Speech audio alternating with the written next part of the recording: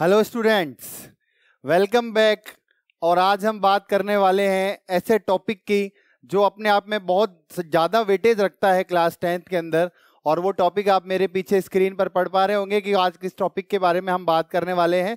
तो कौन सा टॉपिक है वो? जी हाँ बिल्कुल सही पॉलिनोमियल्स है ना? तो आज हम बात करेंगे पॉलिनोमियल्स के बारे में और जो पॉलिनोमियल्स है, वो कितने वर्ड से मिलके बना हुआ है? तो मैं बताता हूँ आपको सबसे पहले कि ये दो वर्ड से मिलके बना हुआ है, ठीक है? इस पॉलिनोमियल्स का क्या मतलब है? इससे क्या रिलेटेड है? ये जो वर्ड है आपको यहाँ पर दिख रहा है, इसका क्या मतलब है हम वो आज सभी पहले समझते हैं। तो सबसे पहले यहाँ पर देखिए कि ये दो वर्ड से मिलके बना हुआ है, एक है पॉली प्लस नोमियल्स ठीक है?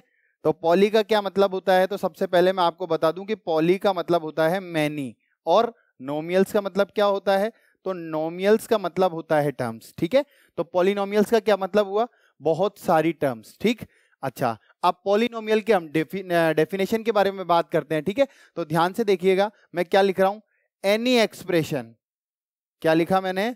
Any expression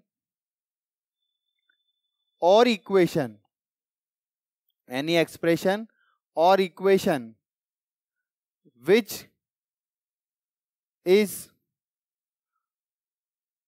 arranged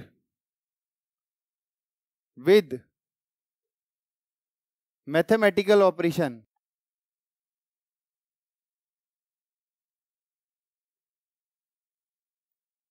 is known as polynomial ठीक है?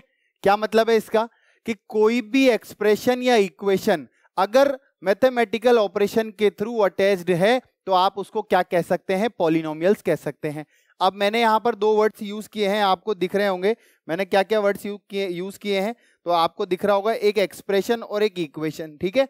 तो कई बच्चों को क्या होता है, ये चीज़ पता नहीं होती है कि एक्सप्रेशन और इक्वेशन अलग अलग होते हैं। इन दोनों में क्या डिफरेंस होता है? तो अभी सबसे पहले मैं आपको बताता हूँ कि भाई एक्सप्रेशन और इक्वेशन में क्या डिफरेंस तो पहले हम एक्सप्रेशन के बारे में बात करेंगे। उसके बाद इक्वेशन के बारे में बात करेंगे। ठीक है? एक्सप्रेशन और इक्वेशन के बारे में हम बात करेंगे। मैंने आपसे कहा कि यहाँ पर कुछ, मैंने पोलिनोमियल्स लिखे हुए हैं two x square plus three x उसके बाद मैंने लिखा हुआ है फाइव एक्स तो ये एक्सप्रेशन है, मैं कैसे आपको बता पा रहा हूँ? जैसे मैंने कहा कि मैं आपको पॉलिनोमियल्स चैप्टर पढ़ाना चाहता हूँ। इसको इंग्लिश में मैं कैसे बोलूँगा? I want to teach you a polynomials chapter ठीक है? I want to teach you polynomials chapter मैं आपको पॉलिनोमियल्स चैप्टर पढ़ाना चाहता हूँ, ठीक है? तो ये क्या हो गया? ये एक एक्सप्रेशन हो गई है। मैंने जो बोला वो इंग्लिश में एक एक्सप्रेशन होगा। इसी तरीके से यहाँ पर ये जो लिखे हुए हैं, ये मैथमेटिकल एक्सप्रेशन हो गई है, ठीक है? अच्छा इसमें और इसमें डिफरेंस क्या है? तो ध्यान से देखिएगा इक्वेशन में यहाँ पर इक्वल का आपको यहाँ पर साउंड आ रहा होगा, ठीक है? अगर मान लीजिए कि यहाँ पर जो एक्सप्रेशन लिखा हुआ है इसी एक्सप्रेशन को मैं इक्वल टू ज़ीरो कर दूँ अगर तो ये क्या हो जाएगी? ये इक्वेशन बन जाएगी, ठीक है? इसका मतलब क्या है? इसका मतलब मैं ये कहना चाह रहा हूँ कि जिस एक्सप्रेशन में इक्वल टू का साइन आ जाए, उसे क्या कह दिया जाता है? उसे इक्वेशन कह दिया जाता है, ठीक है? आपको पता लग गया होगा कि इक्वेशन और एक्सप्रेशन में क्या डिफरेंस है, ठीक है? तो कोई भी एक्सप्रेशन या इक्वेशन पॉलिनोमियल हो सकता है, ठीक है? अच्छा हमें कैसे पता चलेगा कि वो पॉलिनोमियल है या नहीं है? तो उसके लिए कुछ रूल्स बने हुए हैं, ठीक है? तो ध्यान से देखिए। Rules for polynomial. पॉलिनोमियल होने के लिए कुछ रूल्स को फॉलो करना पड़ता है। कौन से रूल्स हैं? तो रूल नंबर वन, ध्यान से देखिएगा। कभी भी पावर कभी भी पावर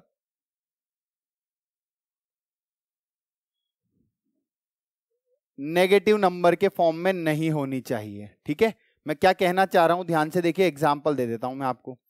मैंने यहाँ पर लिखा two x square minus two plus three x minus five, ठीक है? तो यहाँ पर क्या किया मैंने? तो यहाँ पर ध्यान से देखिए, मैंने आपको बोला कि यहाँ पर जो है एक पावर जो है वो लगी हुई है माइनस का टू, ठीक है? तो आपने कहा कि सर पावर जो है वो माइनस टू लगी हुई है तो क्या पावर माइनस में नहीं हो सकती है? तो बिल्कुल नहीं। आपको ये पता होना चाहिए कि जब कभी भी पावर माइनस में होगी तो वो पॉलिनोमियल नहीं होगा, ठीक है ना? कभी भी माइनस में पावर नहीं आनी चाहिए, ठीक है? आगे चलते हैं। दूसरा रूल क्या कहता है कि कभी भी पावर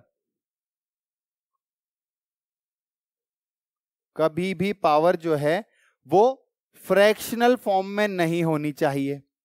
फ्रैक्शनल फॉर्म में नहीं होनी चाहिए। मैं क्या कहना चाह रहा हूँ? एग्ज़ाम्पल देखिए।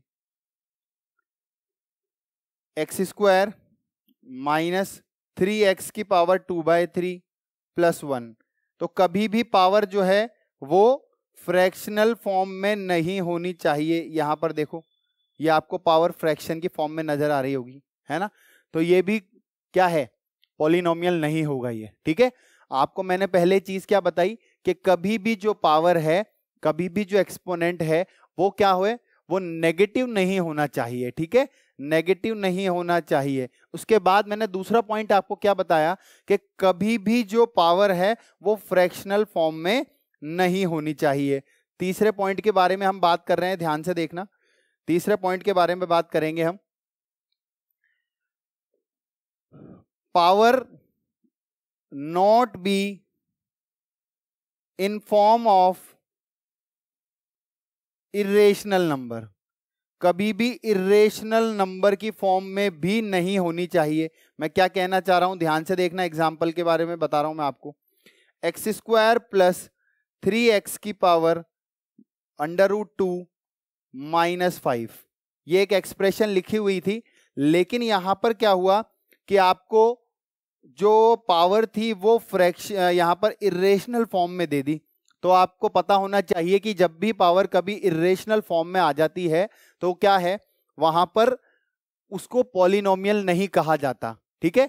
मैंने आपको शुरुआत में बताई थी कि डेफिनेशन क्या होती है। तो किसी भी एक्सप्रेशन को जो कि मैथमेटिकल फॉर्म में लिखी हुई होगी, उसको हम पॉलिनोमियल कह सकते हैं। इक्वेशन और एक्सप्रेशन में क्या डिफरेंस होता है, उसके बाद हमने देखा। अब मैं तीसरी चीज़ आपको बता रहा हूँ कि कब पॉलिनोमियल नहीं होती है कोई भी एक्सप्रेशन। किसी भी एक्सप्रेशन को हम कब पॉलिनोमियल नहीं कहेंगे। तो मैंने यहाँ पर आपको तीन चीज़ें बताई हैं। सबसे पहली चीज़ के भाई पावर जो है वो कभी नेगेटिव नहीं होनी चाहिए। पावर कभी भी फ्रैक्शनल फॉर्म में नहीं होनी चाहिए और पावर कभी भी इरेशनल नंबर की फॉर्म में नहीं होनी चाहिए, ठीक है? अब हम बात करते हैं पॉलिनोमियल के पॉलिनोमियल की जनरल फॉर्म के बारे में, ठीक है? ध्यान से देखना। अभी हम जनरल फॉर्म के बारे में बात कर रहे हैं पॉलिनोमियल के। पॉलिनोमियल के जनरल फॉर्म के बारे में बात करूँ तो इस तरीके से उसकी जनरल फॉर्म को लिखा जाता है। ए एन एक्स की power n plus a n minus one x की power n minus one plus dash dash dash a not x की पावर नॉट ठीक है? ये क्या चीज़ है? मैं आपको इसके बारे में समझा रहा हूँ। ध्यान से देखिएगा। ये जो एक पूरी चीज़ ये लिखी हुई है, इसको हम कह देते हैं टर्म क्या कह देते हैं? टर्म कह देते हैं। इसका मतलब टर्म किस किस चीज़ से मिलके बना है? तो मैं यहाँ पर लिख रहा हूँ कि टर्म के अंदर एक कोएफिशिएंट होता है। टर्म के अंदर एक वेरिएबल होता है और टर्म के अंदर एक एक्सपोनेंट होता है, ठीक है? इन तीनों से मिलकर एक टर्म बनती है। तो ये एक टर्म है, ये दूसरी टर्म है। अब ये मैंने लिखा है यहाँ पर कि कोफिशियंट वेरिएबल और एक्सपोनेंट होते हैं यहाँ पर किसी भी टर्म के अंदर। तो आप कहेंगे कि सर इन तीनों के बारे में बताओ कि कौन कौन सा क्या है? तो ध्यान से देखो जब भी कभी आपको एक्स वाई जेड या फिर कोई अल्फ़ाबेट नज़र आए तो आप उसको क्या कह देंगे? उसको कह देंगे आप वेरिएबल ठीक है ना? आप उसको क्या कह देंगे? वेरिएबल कह देंगे। तो यहाँ पर x जो है, वो वेरिएबल हो गया। इसके बाद हम बात करें तो यहाँ पर ये जो आगे लिखा हुआ है x के तो x के आगे जो कोई चीज़ लिखी हुई होती है या फिर वेरिएबल के आगे जो कोई चीज़ लिखी हुई होती है तो हम उसको क्या कह देते हैं? कोफिशियंट कह देते हैं। तो यहाँ पर x की पावर n माइनस वन का कोफिशियंट क्या है? तो आप बोलेंगे, sir a n minus one है। ठीक है? अब मैं आपसे तीसरी चीज़ के बारे में बता रहा हूँ। आपने कहा कि, सर एक्सपोनेंट क्या होता है? तो बेटा, जिसको आप पावर के नाम से जानते हैं, उसी को ही एक्सपोनेंट भी कहा जाता है। ठीक है? जिसको आप पावर के नाम से जानते हैं, उसी को ही एक्सपोनेंट भी कहा जाता है, ठीक है? यहाँ पर n माइनस वन जो है, वो एक पावर हो गई या एक्सपोनेंट हो गई, ठीक है? अब मैं इसी जनरल फॉर्म से रिलेटेड आपको एक एग्ज़ाम्पल बता रहा हूँ, ध्यान से देखना। मैंने यहाँ पर लिखा एग्ज़ाम्पल तो यहाँ पर लिखा हुआ है two x square plus three x minus one अब इसके अंदर मैं आपको अलग अलग करके बताता हूँ कि कौन सा कोफिशियंट है, कौन सा वेरिएबल है और कौन सा जो है वो एक्सपोनेंट है। तो ध्यान से देखिएगा, यहाँ पर मैंने कहा इस टू के बारे में मैं बात करता हूँ, ठीक है? सबसे पहले मैं आपको ये बता दूँ कि वन टू और थ्री यहाँ पर कितनी टर्म्स हैं बेटा? तो आप कहेंगे, सर थ्री टर्म्स हैं ठीक है? इसके बाद में बात करूँगा कि यहाँ पर टू क्या है? तो यहाँ पर मैं लिख रहा हूँ, ध्यान से देखिए कोफिशियंट ऑफ़ एक्स स्क्वायर क्या बोला मैंने? कोफिशियंट ऑफ़ एक्स स्क्वायर क्योंकि वो एक्स स्क्वायर के आगे लिखा हुआ है, ठीक है? अब आप कहेंगे, सर, यहाँ पर वेरिएबल तो एक्स होगा तो बिल्कुल वेरिएबल जो है वो एक्स होगा, ठीक है? वेरिएबल एक्स होगा यहाँ पर, ठीक है? और एक्स के ऊपर जो यहाँ पर लिखा हुआ है एक्स के ऊपर क्या लिखा हुआ है यहाँ पर? टू लिखा हुआ है। तो टू क्या हो जाएगा? आप कहेंगे, सर टू जो है वो पावर हो जाएगा या फिर एक्सपोनेंट हो जाएगा। ठीक है? यह आपको समझ में आ गया होगा। आगे चलते हैं नेक्स्ट टर्म पर। यहाँ पर सिर्फ़ एक ही चीज़ चेंज होगी। ध्यान से देखिएगा। एक्स जो है वो वही वेरिएबल रहेगा। एक्स जो है वो वेरिएबल होगा। थ्री जो है वो क्या हो जाएगा आपकी बार? थ्री जो है वो coefficient of coefficient of x हो जाएगा, ठीक है? और इस एक्स की पावर क्या हो जाएगी? कुछ भी नहीं लिखा हुआ है, इसका मतलब वन लिखा हुआ है, ठीक है? तो इसको इसकी पावर क्या हो जाएगी? वेरिएबल की। तो आप कहेंगे, सर वन हो जाएगी। आप कभी भी पावर देखेंगे तो पावर हमेशा वेरिएबल के ऊपर ही चेक करनी होती है। पावर कहाँ पर चेक करनी होती है? तो हमेशा वेरिएबल के ऊपर चेक करनी होती है, ठीक है? ध्यान से देखिए। नेक्स्ट पे चलते हैं। यहाँ पर आपने देखा होगा हर बार एक एग्ज़ाम्पल और ले रहे हैं हम, ठीक है? यहाँ पर लिखा हुआ है x square minus two x plus five ठीक? अब ये जो यहाँ पर लिखा हुआ है, आपने देखा होगा कि मैंने जब इसकी जनरल फॉर्म पढ़ाई थी अभी तो मैंने कुछ इस तरीके से लिखा था। एक्स की पावर एन ए की power n plus dash dash dash last में मैंने लिखा था ए नॉट एक्स की पावर ज़ीरो ठीक है? अब आप ये देखिए कि पहला वाला तो इससे बिल्कुल मैच हो रहा है, पर लास्ट वाला तो इससे मैच नहीं हो रहा है। क्यों? क्योंकि यहाँ पर ए ज़ीरो के साथ में भी एक्स लिखा हुआ है, लेकिन हर बार हमारे पास लास्ट में तो एक्स नहीं आ रहा है। तो सबसे पहले तो मैं जो चीज़ बताना चाह रहा हूँ, वो ये बताना चाह रहा हूँ कि जिसके अंदर वेरिएबल नहीं होता है, हम उसको क्या कह देते हैं? तो आप कहेंगे, सर कांस्टेंट कह देते हैं। क्योंकि इसमें क्या है? वेरिएबल नहीं है। ये वेरी नहीं कर सकता। वेरी नहीं कर सकता, इसका क्या मतलब है? कि इस फाइव की वैल्यू आप चाहे इंडिया में रहकर पढ़ें, चाहे अमेरिका में रहकर पढ़ें, इस फाइव की वैल्यू फिक्स रहेगी, ठीक है ना? ये वेरी नहीं कर सकता। इसीलिए इसको क्या कह दिया जाता है? इसको कांस्टेंट कह दिया जाता है, ठीक है? ये कांस्टेंट हो जाता है। पर आपने यहाँ पर देखा कि सर, यहाँ पर तो लास्ट में आपने ए की पावर ज़ीरो लिखा हुआ था। तो बेटा, आपने बचपन में पढ़ा होगा कि जब भी कोई नंबर मैं इसी को दोबारा लिख रहा हूँ, ध्यान से देखना। X square minus two x plus five x की पावर ज़ीरो। आपने ये पढ़ा होगा कि किसी की भी पावर ज़ीरो लगा देते हैं तो वो क्या बन जाता है? तो वो वन बन जाता है। चाहे मैं एक्स की पावर ज़ीरो के बारे में बात करूँ, चाहे मैं हंड्रेड की पावर ज़ीरो के बारे में बात करूँ, ये दोनों क्या बन जाएँगे? तो वन बन जाएगा। तो यहाँ पर एक्स की पावर ज़ीरो लिखी हुई है। तो मुझे ये चीज़ लिखने की ज़रूरत नहीं है, क्योंकि इसका क्या मतलब होता है? इसका मतलब होता है वन। इसीलिए ये वन हटा दिया हमने यहाँ से तो ओनली क्या बच गया? फाइव आ गया यहाँ पर, ठीक है? सभी को समझ में आ गया होगा। और जिसके साथ वेरिएबल नहीं होता है, आप कहेंगे, सर, उसको कांस्टेंट कहा जाता है। ठीक है? आगे चलते हैं। मैं एक और चीज़ के बारे में आपसे बात करना चाह रहा हूँ, उसके बाद हम आगे बढ़ेंगे। आपने इस वर्ड के बारे में सुना होगा, डिग्री। एक डिग्री आपने पढ़ा होगा, जब 90 के ऊपर यहाँ पर एंगल को हम शो करते हैं तो डिग्री में शो करते हैं। लेकिन ये वाली डिग्री जो है, वो अलग तरीके की डिग्री है, ठीक है? ये किस तरीके की डिग्री है? तो आप कहेंगे कि आप ये वाली डिग्री तो हमें पता नहीं है। चलो हम बताते हैं, ध्यान से देखो। मान लो मैंने यहाँ पर एक पॉलिनोमियल लिखा x square plus five x plus six ठीक है? ये जो पॉलिनोमियल है, मैंने कहा इसकी डिग्री फाइंड करो। तो डिग्री क्या होता है? तो ध्यान से देखो, मैं स्टार बना के लिख रहा हूँ, क्योंकि अभी जो है वो एमसीक्यू क्वेश्चंस आने वाले हैं तो इस तरीके का क्वेश्चन भी आ सकता है। तो आप कहेंगे, सर हाईएस्ट पावर क्या कहा मैंने? हाईएस्ट पावर ऑफ़ पॉलिनोमियल उसको क्या कह दिया जाता है? Highest power of polynomial is known as degree क्या कह दिया गया? डिग्री कह दिया गया। सबसे बड़ी पावर को, ठीक है? तो अभी सबसे बड़ी पावर क्या है यहाँ पर? यहाँ पर x की, मैंने कहा था पावर हमेशा वेरिएबल के ऊपर ही चेक करनी होती है। तो यहाँ पर जो है एक्स स्क्वायर लिखा हुआ है, यहाँ पर x की पावर वन लिखा हुआ है, और यहाँ पर अगर हम ध्यान से देते, देखें तो x की पावर ज़ीरो लिखा हुआ है। तो इन तीनों में सबसे बड़ी पावर कौन सी है? तो आप कहेंगे, सर, सबसे बड़ी पावर तो क्या है? टू है। तो इस पॉलिनोमियल की डिग्री क्या हो जाएगी? तो आप कहेंगे, सर टू हो जाएगी। ठीक है? सभी को क्लियर समझ में आ गया होगा, ठीक है? इसी तरीके से आपसे और क्वेश्चंस के बारे में मैं बात करूँ तो आपसे अगर मैं पूछूँ कि भाई, इस पॉलिनोमियल की डिग्री क्या होगी? तो आप बताइए मुझे, इस पॉलिनोमियल की डिग्री क्या होगी? मैं आपसे कहूँ, इस पॉलिनोमियल की डिग्री क्या होगी?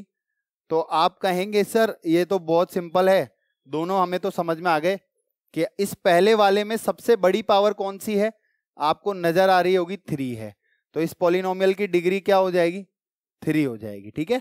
इसी तरीके से इस पॉलिनोमियल की डिग्री क्या हो जाएगी? तो इस इस पॉलिनोमियल की डिग्री फोर हो जाती है, ठीक है? तो यह है डिग्री का खेल कि डिग्री क्या होती है। समझ में आ गई होगी आपको? हाईएस्ट पावर ऑफ़ पॉलिनोमियल जो है, वो डिग्री कहलाती है। और डिग्री आपको इन सभी पॉलिनोमियल्स के अंदर मैंने बताया कि कैसे आप फाइंड आउट कर सकते हैं कि पॉलिनोमियल की डिग्री क्या है, ठीक है? आगे चलते हैं। नेक्स्ट टॉपिक पर हम मूव करते हैं।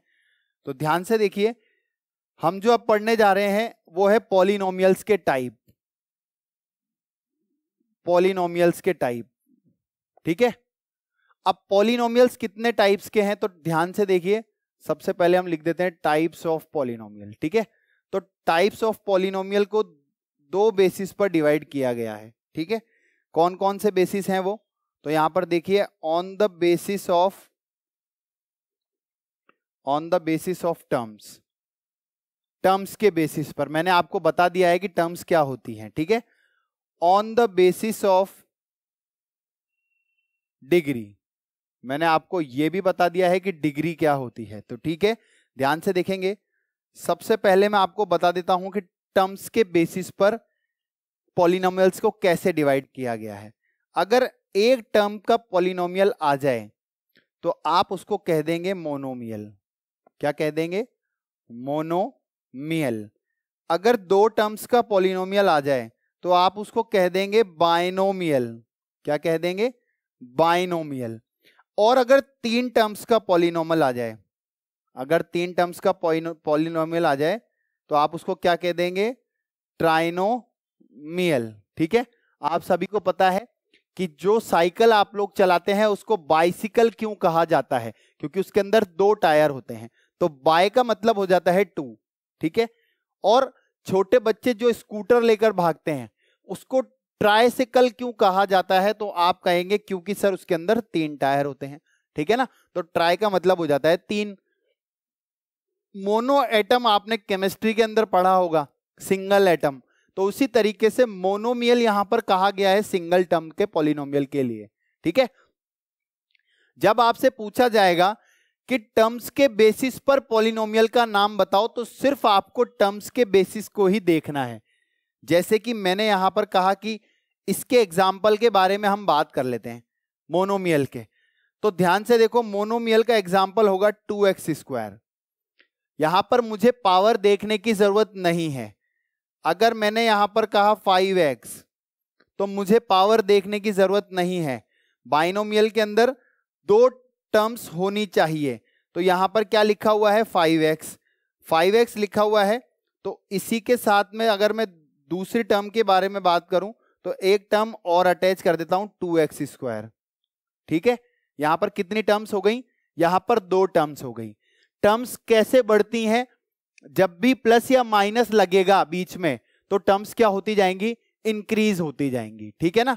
इसी तरीके से अगर मैं ट्राइनोमियल के बारे में बात करूँ तो इसका एक एग्जांपल ले लेते हैं तो two x square plus three x minus five कितनी टर्म्स आ गई यहाँ पर? वन टू थ्री तीन टर्म्स आ गई तो ये ट्राइनोमियल का क्या हो गया? एक अच्छा सा एग्ज़ाम्पल हो गया है। मोनोमियल का मतलब सिंगल टर्म बाइनोमियल का मतलब टू टर्म्स और ट्राइनोमियल का मतलब तीन टर्म्स वाले पॉलिनोमियल हो गए, ठीक है? तो ये हो गया आपका division on the basis of terms ठीक है? अगर हम बात करें on the basis of degree के बारे में on the basis of degree के बारे में तो ध्यान से देखना on the basis of degree में कुछ थोड़ा सा चेंज हो जाता है। क्या चेंज है? जैसे हमने यहाँ पर सिर्फ़ टर्म्स के बारे में बात की है उसी तरीके से हम यहाँ पर सिर्फ़ डिग्री पर फोकस करेंगे। अगर मान लो डिग्री वन हो जाए तो आप क्या कहेंगे उसको? तो आप कहेंगे उसे लीनियर पोलिनोमियल। क्या कह देंगे? लीनियर पोलिनोमियल, क्योंकि आपको पता है कि लीनियर पोलिनोमियल वो होता है जिसकी डिग्री क्या हो जाती है? वन हो जाती है। अब डिग्री से क्या मतलब है? मैंने आपको बताया था, डिग्री वो चीज़ है जो सबसे बड़ी पावर होती है पोलिनोमियल की। तो इस पॉलिनोमियल की सबसे बड़ी पावर क्या होनी चाहिए? तो वन होनी चाहिए। तो यहाँ पर देखो मैंने एक एग्ज़ाम्पल लिखा है। लीनियर पॉलिनोमियल का बिल्कुल सही है, क्योंकि उसमें क्या है? एक्स के ऊपर पावर वन लिखी हुई है, ठीक है? इसी तरीके से हम बात करें जिसकी डिग्री टू होगी। तो टू डिग्री वाले पॉलिनोमियल को यहाँ पर कह दिया जाता है क्वाड्रेटिक पॉलिनोमियल क्या कह दिया जाता है? क्वाड्रेटिक पॉलिनोमियल क्वाड्रेटिक पॉलिनोमियल का मतलब होता है ऐसा पॉलिनोमियल जिसकी डिग्री क्या हो जाती है? टू हो जाती है। तो ध्यान से देखो, इसका एग्ज़ाम्पल दे रहा हूँ। Two x square plus three x, ये क्या है? एक क्वाड्रेटिक पॉलिनोमियल का एग्ज़ाम्पल है। अगर मैं चाहूँ तो सिर्फ़ फाइव एक्स स्क्वायर भी लिख सकता हूँ, क्योंकि मुझे टर्म्स से मतलब नहीं है। टर्म्स कितनी भी हो सकती है, लेकिन मुझे सिर्फ़ क्या देखना है? मुझे देखना है सिर्फ़ डिग्री क्या होनी चाहिए तो डिग्री पॉलिनोमियल की टू होनी चाहिए। नेक्स्ट हम बात करें तो जिस पॉलिनोमियल की डिग्री थ्री होगी, पॉलिनोमियल की डिग्री थ्री होगी तो उस पॉलिनोमियल को क्या कह दिया जाएगा? क्यूबिक पॉलिनोमियल कह दिया जाएगा। ठीक है? क्या कह दिया जाएगा? क्यूबिक पॉलिनोमियल कह दिया जाएगा। तो इस क्यूबिक पॉलिनोमियल का एक एग्ज़ाम्पल दिखाता हूँ मैं आपको। ध्यान से देखिए, फाइव एक्स क्यूब क्या ये क्यूबिक पॉलिनोमियल है? तो आप कहेंगे, सर, बिल्कुल है। क्यों? क्योंकि हमें टर्म्स से मतलब नहीं है। टर्म्स चाहे तो एक टर्म भी हो सकती है। ठीक है? ये सभी क्यूबिक पॉलिनोमियल के एग्ज़ाम्पल हैं। ठीक है? टर्म्स कितनी भी हो सकती है। आगे चले हम तो ध्यान से देखिए, अगर टर्म्स क्या हो जाए फोर टर्म्स हो जाए तो टू टर्म्स वाले को जैसे क्वाड्रेटिक कहा जाता है, ऐसे ही फोर टर्म्स वाले को बाय बाय का मतलब टू और क्वाड्रेटिक क्वाड्रेटिक का मतलब भी टू और टू और टू मिलाकर क्या बन गया? फोर मिल गया. तो इनसे क्या हो जाता है? टू और टू फोर हो जाता है. तो ऐसे पॉलिनोमियल जिनकी डिग्री फोर होती है, उन्हें क्या कह दिया जाता है? तो आप कहेंगे, सर, उनको क्या कह दिया जाता है? बाय क्वाड्रेटिक पॉलिनोमियल कह दिया जाता है. एक्स की पावर फोर ठीक है? टू एक्स की power four minus three two x की power four minus three x square plus five. ये सभी क्या है? तो ये सभी एक बाय क्वाड्रेटिक पॉलिनोमियल के एग्जाम्पल्स हैं, ठीक है? आपको समझ में आ गया होगा। आप इस चीज़ में कंफ्यूज नहीं होना। एग्ज़ाम्पल में साफ़ साफ़ लिखा हुआ होगा कि आपको नीचे दिए हुए पॉलिनोमियल में किस बेसिस पर नाम लिखना है, ठीक है ना? ये चिंता मत करना कि हम कैसे पहचानेंगे, अगर एक टर्म लिखी हुई है तो उसका नाम जो है, वो हमको मोनोमियल लिखना है या फिर डिग्री के बेसिस पर लिखना है। वो साफ़ साफ़ ऊपर लिखा हुआ होगा, ठीक है ना? कि आपको क्या करना है? किस बेसिस पर नाम बताना है? नेक्स्ट टॉपिक पर हम चलते हैं। नेक्स्ट टॉपिक बहुत ही अच्छा टॉपिक है। उसके बारे में हम बात करेंगे यहाँ पर, ध्यान से देखना। कि जो पॉलिनोमियल है, इस पॉलिनोमियल की वैल्यू के बारे में हम बात करेंगे। ठीक है? वैल्यू ऑफ़ पॉलिनोमियल कि ये पॉलिनोमियल की वैल्यू कैसे फाइंड की जाती है और इसको फाइंड करने के लिए हमें किस किस चीज़ की रिक्वायरमेंट होती है, ठीक है? ध्यान से देखें। एक बहुत इंपॉर्टेंट चीज़ है, आप ध्यान रखना कि हमेशा पॉलिनोमियल जो है, उसको क्या किया जाता है? पी से डिनोट किया जाता है। किससे डिनोट किया जाता है? कैपिटल पी से डिनोट किया जाता है। और ब्रैकेट में क्या लिख दिया जाता है? तो ब्रैकेट में लिख दिया जाता है उसका वेरिएबल। क्या लिख दिया जाता है? उसका वेरिएबल लिख दिया जाता है। इस तरीके से पॉलिनोमियल को डिनोट किया जाता है।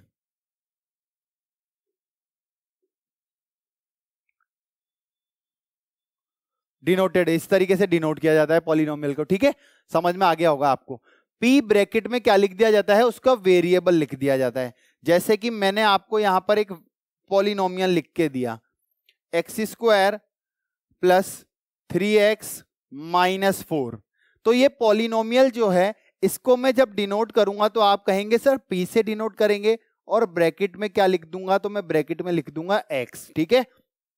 अब आपसे इस पॉलिनोमियल की आपसे क्या पूछ ली गई? वैल्यू पूछ ली गई। तो वैल्यू जो है वो पॉलिनोमियल की बहुत सारी होती हैं, है ना? बहुत सारी वैल्यूज़ होती हैं। अलग अलग पॉइंट पे वैल्यू होती है। हर पॉइंट पर उस पॉलिनोमियल की अलग वैल्यू होती है। तो आपको क्या करना पड़ेगा यहाँ पर? बताना पड़ेगा कि पॉलिनोमियल की जो वैल्यू है, वो आपको किस पॉइंट पर बतानी है, ठीक है? जब तक कि आपको यह पता नहीं होगा कि इस पॉलिनोमियल की वैल्यू आपको किस पॉइंट पर बतानी है, आप इस पॉलिनोमियल की वैल्यू नहीं फाइंड कर पाओगे, ठीक है? तो ये जो वैल्यू ऑफ़ पॉलिनोमियल है, इसका क्वेश्चन दो तरीके से आता है। अब वो दो तरीके क्या हैं तो ध्यान से देखिए।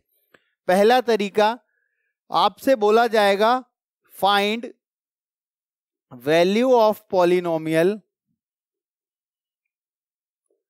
at x is equal to two ठीक है? आपसे क्या पूछा गया find value of polynomial at x is equal to two एक तो इस तरीके से क्वेश्चन आ जाता है। और दूसरा तरीका क्या है? तो ध्यान से देखिएगा दूसरा तरीका है find value of polynomial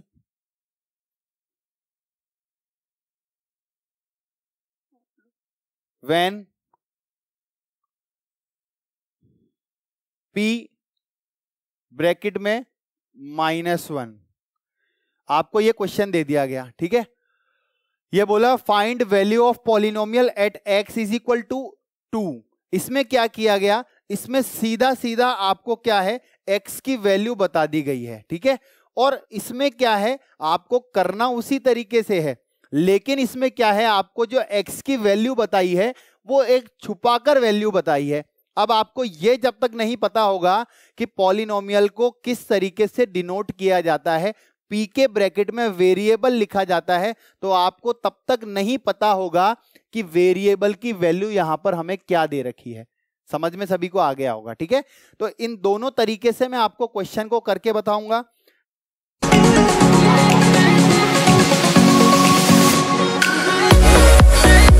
solution उसी तरीके से करना है, लेकिन इसमें साफ़ साफ़ आपको एक्स की वैल्यू दी हुई है और यहाँ पर सबसे पहले मैं पोलिनोमियल लिख देता हूँ। क्या लिखा हुआ है? तो p x is equal to x square plus three x minus four अब मुझे क्या करना है? एक्स की जगह पर टू पुट कर देना है। तो एक्स की जगह पर जैसे ही मैंने टू पुट किया, यहाँ पर टू का स्क्वायर थ्री ब्रैकेट में टू माइनस फोर इसको मैं सॉल्व करूँगा तो टू का स्क्वायर फोर होता है। प्लस थ्री टू ज़ा सिक्स होगा माइनस का फोर होगा। प्लस के फोर से माइनस का फोर कैंसिल हो गया और यहाँ पर आंसर क्या आ गया मेरा? तो मेरे पास पॉलिनोमियल की वैल्यू आ गई है सिक्स। ठीक है? आपको ये चीज़ क्लियर हो गई होगी कि वैल्यू ऑफ़ पॉलिनोमियल कैसे फाइंड की जाती है। सबसे पहली और इंपॉर्टेंट चीज़ कि आपको पॉइंट पता होना चाहिए कि किस पॉइंट पर आपको पॉलिनोमियल की वैल्यू फाइंड करनी है। ठीक है? इसी तरीके से सेम टू सेम इस क्वेश्चन को सॉल्व करेंगे आप। यहाँ पर क्या लिखा हुआ है? तो सबसे पहले आप पॉलिनोमियल लिख लें p x is equal to x square plus three x और माइनस का फोर अब आपको क्या है, यहाँ पर फाइंड करनी है p माइनस वन की वैल्यू तो p माइनस वन की वैल्यू फाइंड करनी है तो आप क्या करेंगे, यहाँ पर माइनस वन की वैल्यू पुट कर देंगे x की जगह पर, ठीक है? थ्री माइनस वन और माइनस का फोर ठीक है? इज़ इक्वल टू माइनस का स्क्वायर करेंगे तो प्लस हो जाएगा और वन का स्क्वायर करेंगे तो वन ही रहेगा. प्लस माइनस माइनस हो जाएगा, थ्री वन जा थ्री है, माइनस का फोर है। यहाँ पर प्लस का वन है और माइनस का सेवन है तो आपका आंसर आ जाएगा माइनस का सिक्स। ठीक है? सभी को ये चीज़ क्लियर हो गई होगी कि पॉलिनोमियल की वैल्यू फाइंड करने के लिए दो तरीके से ही क्वेश्चन पूछे जाते हैं। एक कैसे? जब आपको साफ़ साफ़ एक्स की वैल्यू या वेरिएबल की वैल्यू दी हुई होती है और एक जब आपको पी के ब्रैकेट में वैल्यू, वेरिएबल की वैल्यू गिवन होगी। ठीक है? तो ये जो टॉपिक था वैल्यू ऑफ़ पॉलिनोमियल आपको पता लग गया होगा कि वैल्यू ऑफ़ पॉलिनोमियल कब फाइंड की जाती है और कैसे फाइंड की जाती है। अब हम नेक्स्ट टॉपिक पर मूव करते हैं। वो जो टॉपिक है, बहुत इंपॉर्टेंट टॉपिक है। ध्यान से देखिएगा। अब हम बात करते हैं ग्राफ ऑफ़ पॉलिनोमियल के बारे में। ग्राफ ऑफ़ पॉलिनोमियल्स के बारे में। ठीक है? तो ध्यान से देखिएगा। सबसे इंपॉर्टेंट चीज़ पहला जो पॉलिनोमियल है लीनियर पॉलिनोमियल ठीक है? लीनियर पॉलिनोमियल तो आपको पता होना चाहिए कि इस लीनियर पॉलिनोमियल का ग्राफ हमेशा एक स्ट्रेट लाइन बनती है। ठीक है ना? लीनियर पॉलिनोमियल का जो ग्राफ बनेगा, वो आपका एकदम स्ट्रेट लाइन बनेगा। ठीक है? दूसरे के बारे में बात कर लेते हैं। क्वाड्रेटिक पॉलिनोमियल ठीक है? क्वाड्रेटिक पॉलिनोमियल क्वाड्रेटिक पॉलिनोमियल का क्या मतलब होता है? तो क्वाड्रेटिक पॉलिनोमियल का मतलब होता है कि इसका जो ग्राफ बनता है, वो पैराबोला बनता है। या तो ऐसा बनेगा या ऐसा बनेगा। क्या कह दिया जाता है इसको? इसको कह दिया जाता है पैराबोला ठीक है? अब क्यूबिक पॉलिनोमियल के बारे में बात करें तो क्यूबिक पॉलिनोमियल का जो ग्राफ बनता है, ध्यान से देखिएगा। क्यूबिक पॉलिनोमियल का जो ग्राफ बनता है, वो कैसा बनता है? तो वो बनता है जैसे आपकी ये एक्सिस है, ये यहाँ पर आपसे बोला गया कि कौन सा पॉलिनोमियल है तो आप कहेंगे, सर, ये क्यूबिक पॉलिनोमियल है। क्यों? क्योंकि यहाँ पर देखिए, वन, टू और थ्री। कितनी जगह पर कट कर रहा है? तो आप कहेंगे, सर, तीन जगह पर कट कर रहा है। तो इसके कितने जीरोस हो जाएँगे? तो इसके जीरोस हो जाएँगे तीन, ठीक है? तो इसको क्या कह दिया जाएगा? क्यूबिक पॉलिनोमियल कह दिया जाएगा। अब आप कहेंगे, सर, ये जीरोस क्या होता है? आप जो बोल रहे हैं कि इसके कितने जीरोज हो जाएँगे, वो जीरोस क्या होते हैं? तो वही जीरोस के हम बारे में बात करेंगे। अभी नेक्स्ट में आपको बताने वाला हूँ। तो आप सभी अभी सबसे पहले क्या समझ लें कि भाई पॉलिनोमियल के ग्राफ जो दिखेंगे, वो आपको किस तरीके से दिखेंगे। ठीक है? अब हम नेक्स्ट टॉपिक पर चलते हैं। तो नेक्स्ट टॉपिक हमारा जो है, वो है zeros of polynomial zeros of polynomial ठीक है? जीरोज ऑफ़ पॉलिनोमियल सबसे पहले हम बात करते हैं लीनियर पॉलिनोमियल के बारे में। लीनियर पॉलिनोमियल ठीक है? लीनियर पॉलिनोमियल जो होता है, उसकी जो हाईएस्ट पावर होती है, वो क्या हो जाती है? तो वो वन हो जाती है। तो क्या ये सामने लिखा हुआ जो है, ये जो है वो पॉलिनोमियल लीनियर होगा? तो आप कहेंगे, सर, बिल्कुल लीनियर होगा, क्योंकि यहाँ पर एक्स के ऊपर जो पावर लगी हुई है, वो क्या लगी हुई है? तो वो वन लगी हुई है। ठीक है? आगे चलते हैं। नेक्स्ट हम बात करें तो जब पॉलिनोमियल होता है, उस पॉलिनोमियल की पावर हमें वन दिख जाए तो वो पॉलिनोमियल लीनियर पॉलिनोमियल हो जाता है। और लीनियर पॉलिनोमियल जो है, उसके अंदर जब वन पावर है तो उसके लिए हम ये भी कह सकते हैं कि लीनियर पॉलिनोमियल के अंदर जो हाईएस्ट ज़ीरो होंगे, ध्यान से सुनना जो मैं वर्ड यूज़ कर रहा हूँ आपका मैक्सिमम जीरोस वो मैक्सिमम जीरोस कितने हो जाएँगे तो वो वन हो जाएगा, ठीक है? आगे चले हम नेक्स्ट इसके बारे में बात करें। तो इसका जब ग्राफ के बारे में हम बात करेंगे तो हमेशा कैसा ग्राफ आएगा? तो आप कहेंगे, सर, स्ट्रेट लाइन आएगा। कैसे आएगा? ध्यान से देखिए। आपको कभी भी जीरोस फाइंड करने के लिए कहा जाए, कभी भी आपको जीरोस फाइंड करने के लिए कहा जाए, दो ही तरीके के क्वेश्चंस आते हैं जीरोस ऑफ़ पॉलिनोमियल से। एक क्वेश्चन आता है, आपको पता लगाना होगा कि जब कोई नंबर गिवन है तो क्या वो पॉलिनोमियल का जीरोस है? एक क्वेश्चन तो इस तरीके से आता है। दूसरा क्वेश्चन कैसे आता है? दूसरा क्वेश्चन आता है कि जो आपको नंबर जीरोस अभी तक दिया गया था, अब वो नंबर आपको फाइंड करना होगा। मतलब कि आपको zeros of the polynomial find करना होगा। और जीरोस ऑफ़ द पॉलिनोमियल का काम क्या होता है? तो जीरोस ऑफ़ द पॉलिनोमियल का काम होता है कि इस पूरे पॉलिनोमियल को क्या कर देता है वो? वो ज़ीरो कर देता है। कैसे? तो ध्यान से देखेंगे सब हम। जैसे यहाँ पर आपको एक पॉलिनोमियल दिया गया अब इस पॉलिनोमियल को आपको यह पता लगाना है कि कौन सा नंबर इस पॉलिनोमियल का ज़ीरो होगा। तो सबसे पहले आप इसको ज़ीरो के इक्वल कर दें और यहाँ से आप वेरिएबल की वैल्यू फाइंड कर लें। तो यहाँ पर क्या लिखा हुआ है? माइनस टू लिखा हुआ है। X is equal to minus two तो ये माइनस टू क्या हो जाएगा? ये माइनस टू इस पॉलिनोमियल का ज़ीरो हो जाएगा।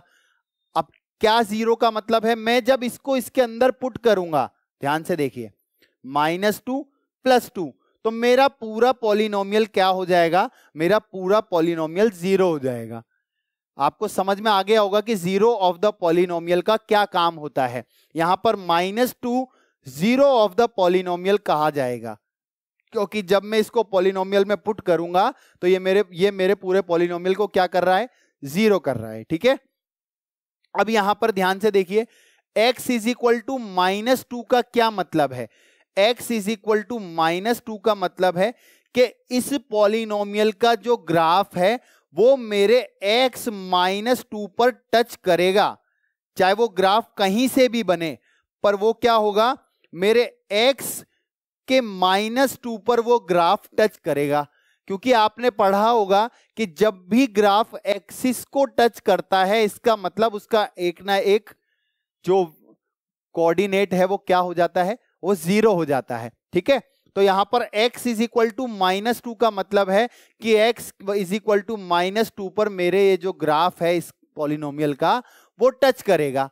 आपको ये चीज़ क्लियर हो गई होगी। हम नेक्स्ट पर चलते हैं। तो ध्यान से देखिएगा, अभी हमारा जो टॉपिक चल रहा है वो ज़ीरो ऑफ़ द पॉलिनोमियल ही चल रहा है।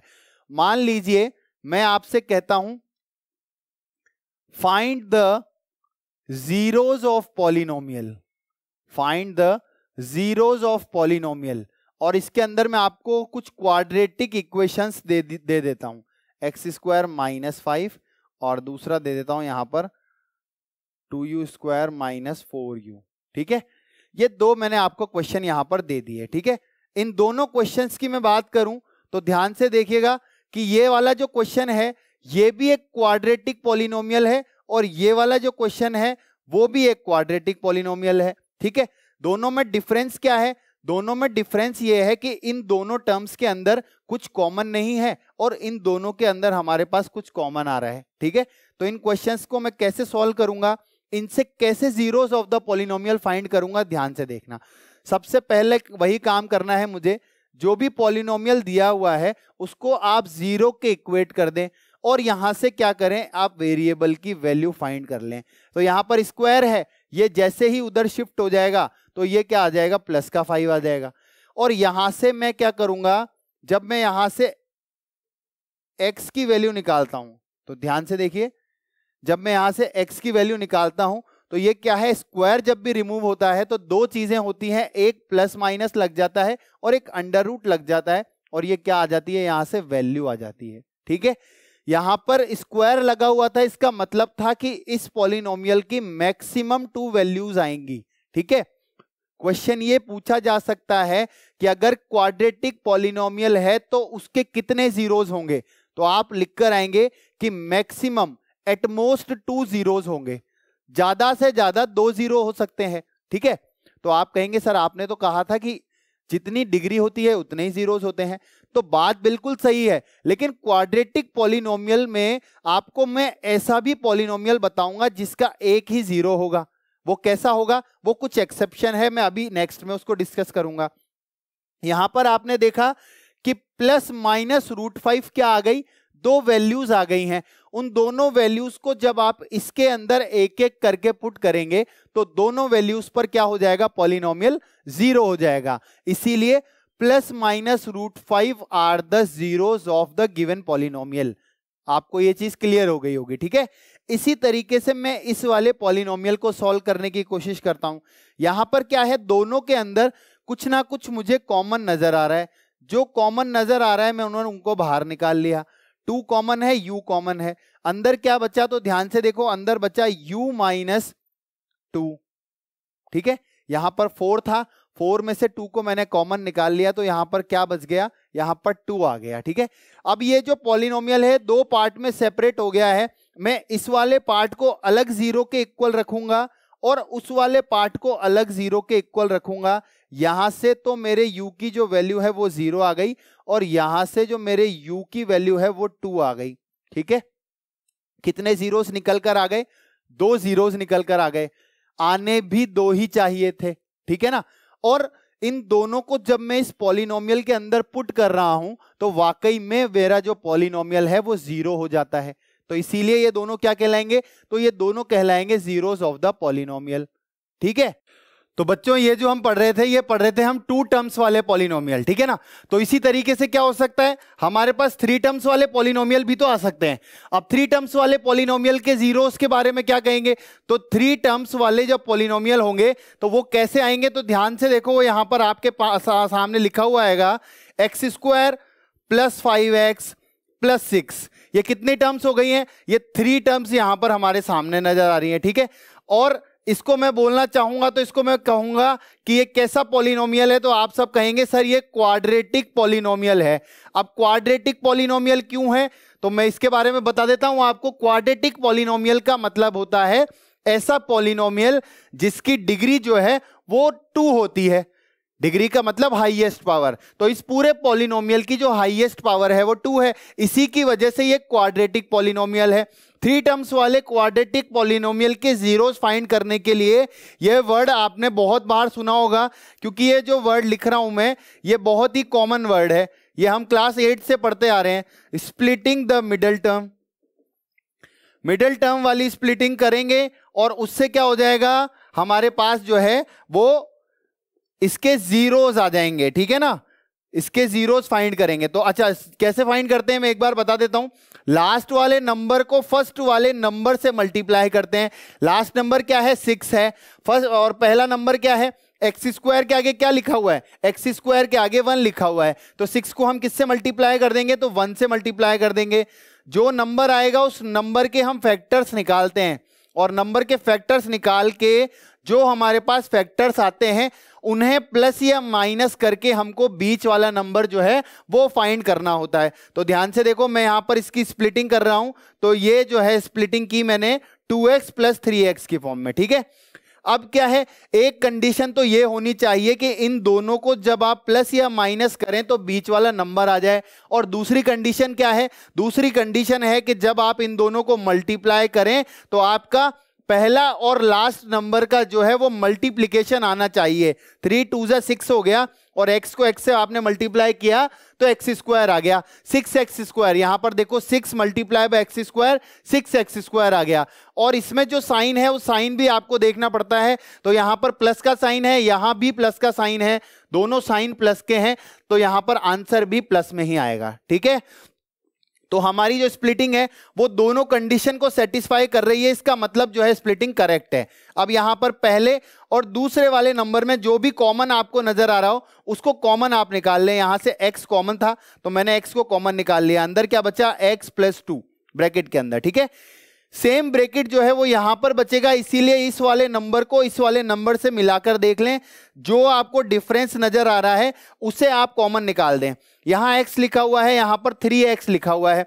तो मैं क्या करूँ, यहाँ पर प्लस के थ्री को बाहर निकाल देता हूँ, ताकि अंदर क्या बच जाएगा? अंदर बच जाएगा एक्स प्लस टू ठीक है? अब यहाँ पर क्या है? दो फैक्टर आपको नज़र आ रहे होंगे। कौन कौन से दो फैक्टर ध्यान से देखो। तो एक फैक्टर तो आपका हो गया है, जो ये दोनों ब्रैकेट के अंदर नज़र आ रहा है आपको, ठीक है?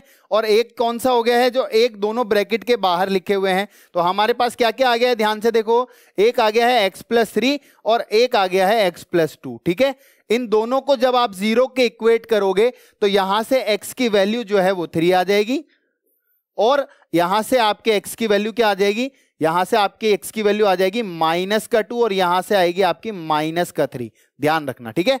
क्या करना होता है? दोनों फैक्टर्स को आप ज़ीरो के इक्वेट कर देंगे तो एक्स की वैल्यू दोनों से निकल कर आ जाती है, ठीक है? ये आपके क्या हैं? ये जीरोस हैं। मैंने पहले भी बताया था, इन जीरोस का क्या काम होता है? इन जीरोस का काम होता है कि इस पॉलिनोमियल के अंदर जब आप पुट करेंगे तो इस पूरे पॉलिनोमियल की वैल्यू को क्या कर देते हैं ये?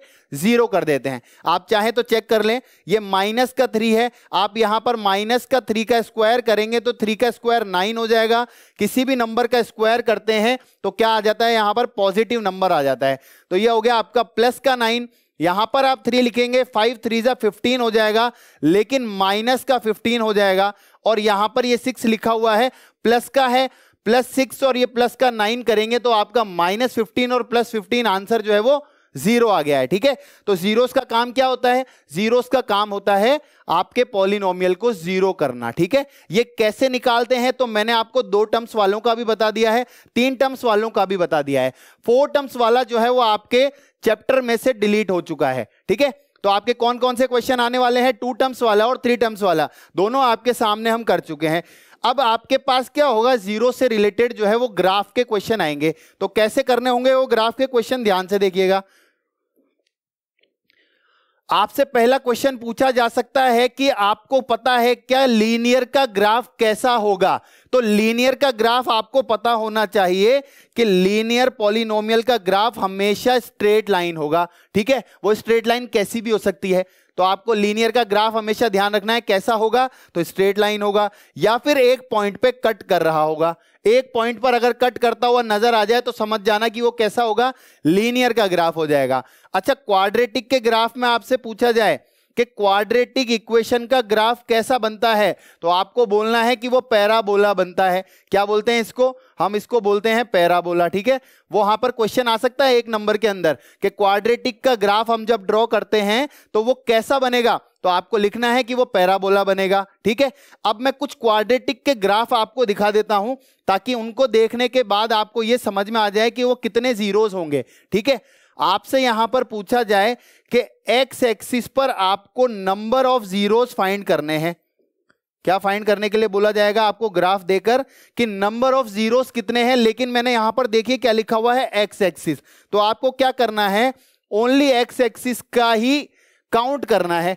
तो ध्यान से देखो, जहाँ पर एक्स एक्सिस को ये कट कर रहा होगा, वहाँ पर आपको चेक करना है कि कितनी जगह पर ये कट कर रहा है। तो आपने कहा, सर, यहाँ पर दो जगह पर कट कर रहा है तो नंबर ऑफ़ जीरोस कितने हो जाएँगे?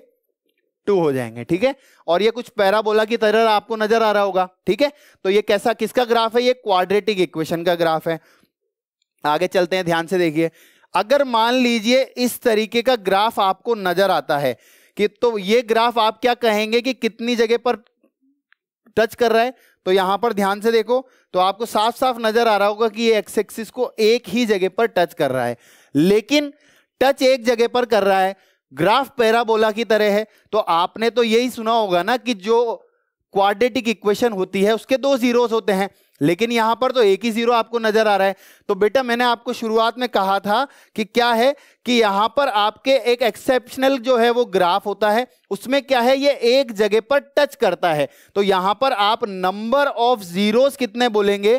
तो आप नंबर ऑफ़ जीरोस तो वन कहेंगे। लेकिन आपसे पूछा जाएगा कि ये ग्राफ किसका है? तो आप कहेंगे क्वाड्रेटिक पॉलिनोमियल का। अब आपको बात समझ में नहीं आ रही होगी कि ये कैसे हो रहा है। तो ध्यान से देखो, क्या होता है कि जब इस तरीके के मान लो कि आपके पास एक इक्वेशन आ जाए, ये लिखा हुआ है, ठीक है? तो आप क्या करेंगे? इसको आपने ऐसा लिख दिया, मान लीजिए यहाँ पर ये दो पॉलिनोमियल लिखे हुए हैं, ठीक है? x माइनस वन का होल स्क्वायर तो यहाँ से आप इसको सॉल्व करोगे तो आपके पास क्या आ जाएगा? देखो ध्यान से, नीचे लिख देते हैं इसको अपन। यहाँ देखिए ध्यान से। यहाँ पर आपके पास लिखा हुआ है x माइनस वन का होल स्क्वायर तो यहाँ पर आप इसको किससे सॉल्व करेंगे? A माइनस बी के होल स्क्वायर से। फॉर्मूला क्या होता है? A square plus B square minus two A B ये कैसा दिख रहा है आपको? ये आपको नज़र आ रहा होगा एक क्वाड्रेटिक पॉलिनोमियल ठीक है ना? क्योंकि ये कैसा है? तीन टर्म्स के अंदर है और इसकी जो हाईएस्ट पावर है, वो भी टू है। आप इसको सॉल्व करोगे तो क्या ऐसा ही लिखोगे क्या? दो बार एक्स माइनस वन लिख सकते हैं हम। और यहाँ से आप सॉल्व करोगे तो एक्स की कितनी वैल्यूज़ आ जाएगी? इससे भी वन आएगी और इससे भी वन आएगी। तो जब दोनों वैल्यू सेम आती है तो इसी तरीके का ग्राफ आपको नज़र आता है। समझ में आ गई बात?